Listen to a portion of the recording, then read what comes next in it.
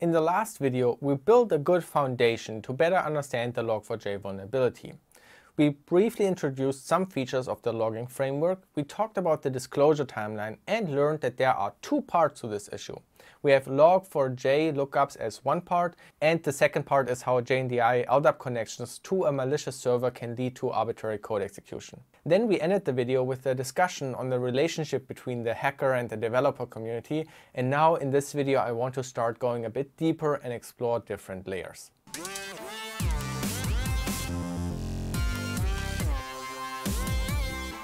I promised you we go deeper, so get ready to look into how Log4j works internally.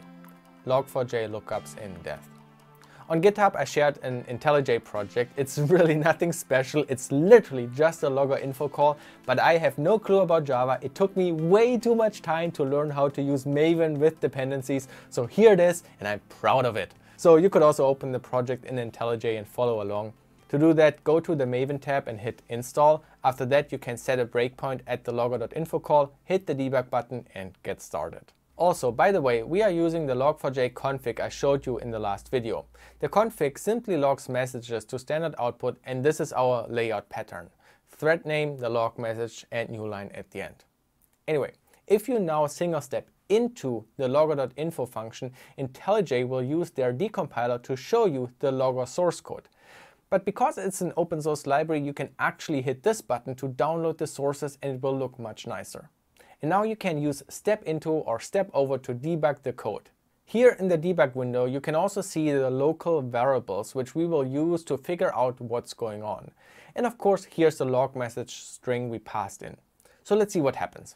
Logger.info first calls log if enabled, single step forward. If it is enabled, then we call log message. We don't have to step into is enabled call, so we can step over it and then step into the log message call. Next we call log message safely, which is a pretty funny name. Also, our string message is passed into this message factory to wrap the string in a reusable simple message object. Ah, Java, you gotta love it. Now, we also learned why the function is called log message safely, because everything is here wrapped in a try block and it's tracking recursion. Because if you pass in an object to log, eventually the logger will have to convert that object to a string by calling toString. And if that toString method calls the logger again, with itself, I don't know why, you would get an infinite recursion.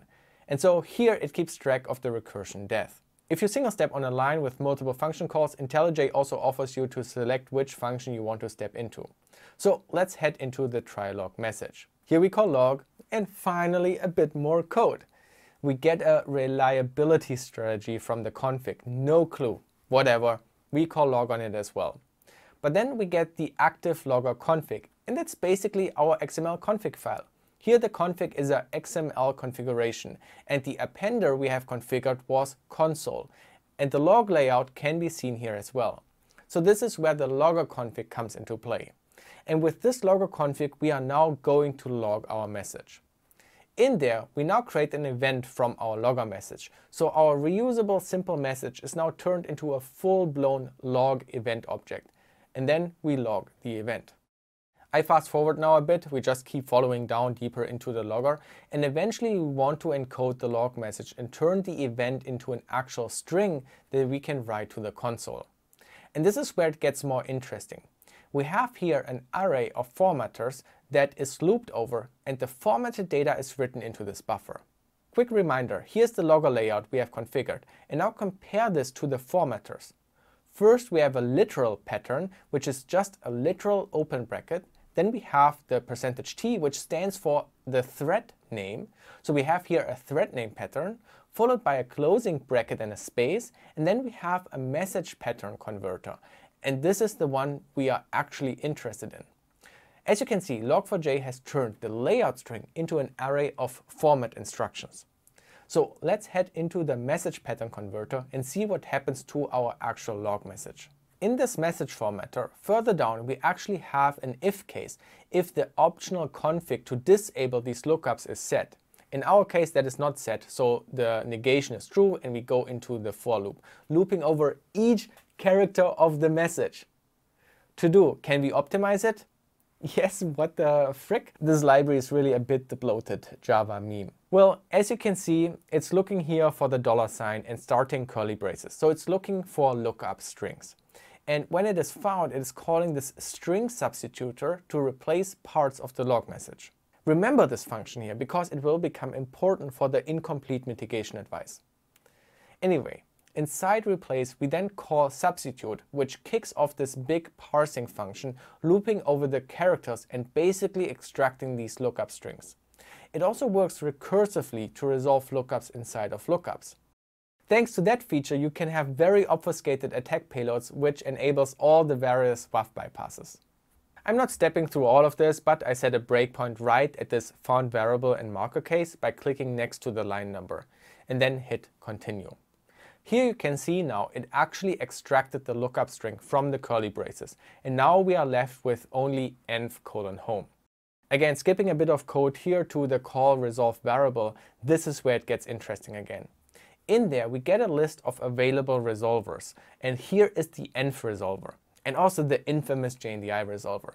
Here you can also see the lower and upper one, which are used in some WAF bypasses. Anyway, this lookup call will now use the prefix env to get the corresponding environment lookup resolver object, which has a very simple lookup function. It simply calls system.getEnv with the key. It gets my home path, replaces it in the logger message, and you can imagine the rest. The message is eventually printed on the console with the home path. I won't actually step through what happens with a JNDI lookup message. It's basically the same thing, just that eventually we reach a JNDI lookup, which is using a JNDI manager, and that then does all the JNDI magic, creating a socket and connecting to the URI and so forth. If you're curious, you can spend some hours stepping through the crazy code yourself. Now you know how to do that. But let's look again at the environment lookup example. And I have an honest question. And I think that part is very important for every developer who is watching. Let's talk about secure software design. I hope I don't sound too judgmental. I just want to ask very directly to think about this. Is it better to have a complex logging library with lots of code to parse each message to be able to include environment variables? Or is it better to force the person who wants to log an environment variable to call system.getEnv and append it to a string? I understand that this code looks less pretty than the magical library. And there's certainly an argument about writing more readable code, but in terms of security, less complexity is always more secure. Now, you have to be careful with what I mean with less complexity. For example, it's less complex to write Java networking code with read object and move arbitrary objects through the network than to implement a more complex message handling. For example, JSON data that then has to be turned back into an object. Lots of if and else cases to verify the JSON data is correct, but it just looks more complex. Actually, it's simpler. It's very basic. Some string or numbers come in and you handle them. The read object call is hidden complexity. There's a binary format hidden from you that magically turns into full-blown Java objects. You can imagine that there's a lot of internal magic code to make that happen. And so you have to realize that you introduce huge complexity, thus increase attack surface into your program with this solution. The simpler solution requires you to write a bit of annoying code lines, but you are dealing with very basic string and numbers and clearly they wouldn't directly lead to arbitrary code execution. So when you create a bigger system architecture or you are just tasked to implement a smaller feature of a larger project, always design for simplicity. And as I said, I don't mean the simplicity of your code in isolation, I mean the simplicity of the whole stack you plan to use. Eventually, you can develop an intuition for which functions and libraries mean complexity and what kind of code is actually basic. I hope that kind of makes sense. I believe this is one of the most important principles to go by when wanting to write secure code. And to continue the topic on secure design and security pitfalls, let's talk about format string vulnerabilities. For this, let me show you an excerpt of a talk I gave at FSEC in 2017. Listen to what I say here about format string vulnerabilities in C and how I compare it to Python and template engines. And always keep Java logging in mind. I think it will sound very familiar. format string vulnerabilities, uh, if you do binary, then it's a basic thing and you know about it. If not, it's uh, maybe hopefully interesting. So when you program C, for example, printf, the first part of printf where you specify how you wanna want the data to be displayed is the format string. And uh, here's another example with two variables. So you want this one to be replaced with the decimal representation of the number and this one to replace with the hex display of, of this uh, number here. And the format string vulnerability happens when you can control this format uh, string. And so here's kind of how this looks like with a simplified stack in memory. Because printf has a variable amount of parameters, and it basically just trusts that everything is uh, on the stack. So if printf encounters a percentage %d, it will take the first number from the stack and display it. And then it encounters the percentage %x, takes it from the stack and displays it. And you can imagine that when you can now control this part of the string and you enter as an attacker just a lot of x, that you start consuming a lot of values from the stack and you leak a lot of data from it. So this can be used to bypass ASLR, for example, because we know that on the stack is, for example, the return pointer. So you have at least a valid address into valid code, and from based on that, you can most likely uh, get around the ASLR issue. But there are even modifiers that allows you to write into memory, and uh, it can be even used to completely take over the control flow of a program the idea, the abstract idea of controlling the format stuff is not only an issue for C.